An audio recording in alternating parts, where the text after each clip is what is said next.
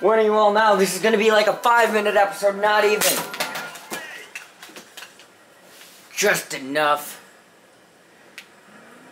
to run this douche over. Help! Hold on, Brian. Another other shithead bites the dust. Yeah.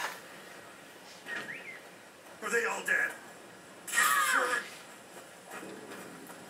Yeah. They're all dead. Ah! Look, I'm sapping up and down. I'm out of weapons. Oh, Christ, thank you. I thought I was never gonna get out of here. Alright? Here, you take this.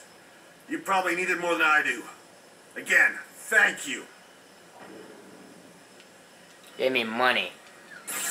And I died. And I lost some money. Well,